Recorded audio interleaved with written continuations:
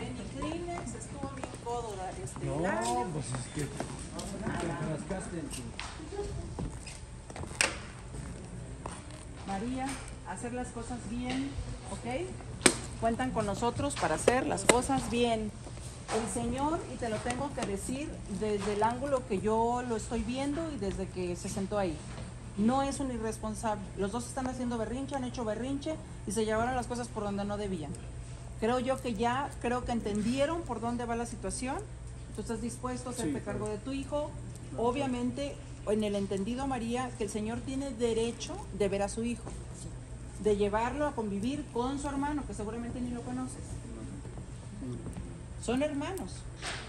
¿Ok? Entonces, quiero- para que no... Perdón, Rosel, Sí. no le agradecí a Sandy porque a pesar de todos estos conflictos, toda esta situación, siempre ha estado conmigo y me ha apoyado. ¿Y por qué crees que sea? Pues creo yo que es este, pues es el, el cariño, el amor que me tiene. Y pues espero ser, corresponder con eso, ¿no? No tenía otra idea. Yo solo había hablado con mi hijo que este, pues a lo mejor ya no iba a casar ni ya no iba a tener este, otra relación así. Pero mira, no puedo dejar de lado todo el apoyo que estoy recibiendo de ella. Y pues eso me hace pensar, ¿no? me, hace, me hace recapacitar en algunas cosas de, de- de- de ahora y más ahora con el apoyo legal que voy a tener, pues este, porque también ese es el mayor de mis intereses, ¿no? Ver a mi hijo, que conozca a su hermano, que podamos ser una familia. Hacer las cosas como deben ser. Claro, claro, claro que eso es lo que siempre me inculcaron y que siempre he tratado de hacer malamente, pues como dice la, la doctora, pues malas decisiones, malas decisiones me han llevado aquí. Pero mira, las malas decisiones tienen buenas consecuencias.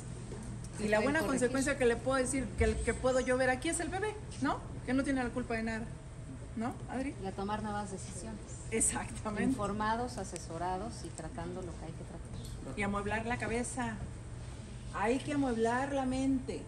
Pueden ahí estar todos los muebles, pero hay que acomodarlos para que se vea bonito, ¿no? Para que lo que, lo que se exprese y lo que se cree sea algo lindo. La responsabilidad de crear un hijo no es cualquier cosa. Hay que, hay que pensar muy bien en eso, ¿sí? Sí. Muchas gracias, Andy. Gracias. No sé por qué me imaginé y creí necesario que ustedes dos se dieran la mano. Porque si en algún momento el bebé convive con tu pareja, pues obviamente tú lo vas a tener también, ¿verdad? Y hay que ver por él, que él esté bien. ¿Sí? Sí.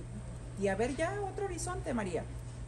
Hay muchos hombres en la vida, muchos. Y en este universo de personas tiene que haber uno para ti. Y al final del día, perdón que te interrumpa, Rocío, lo hemos dicho muchas veces, ¿no? Educamos con el ejemplo. Y qué mejor manera que con el ejemplo de haber resuelto, replanteado luego del caos una situación familiar.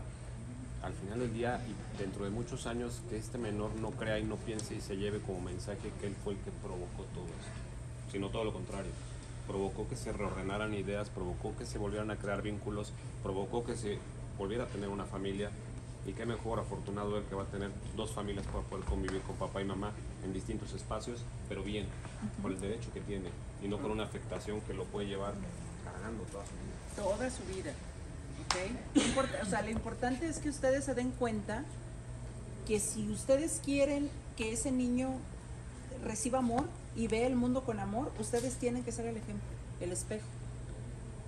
¿Ok? Sí. Muchas gracias y aquí estamos. Muchas Ya le gracias.